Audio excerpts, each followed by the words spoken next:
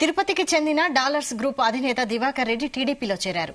ఇవాళ ఆయన నిడదవోలులో టీడీపీ అధినేత చంద్రబాబు నాయుడును కలిశారు. దివాకర్ రెడ్డికి పార్టీ కండువా కప్పి పార్టీలోకి సాదరంగా ఆహ్వానించారు చంద్రబాబు.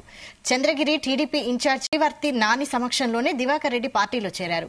మరికొంతమంది దివాకర్ రెడ్డి అనుచరులు టీడీపీ తీర్థం పుచ్చుకున్నారు.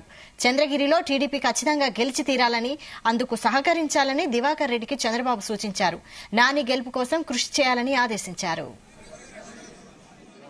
私たちは。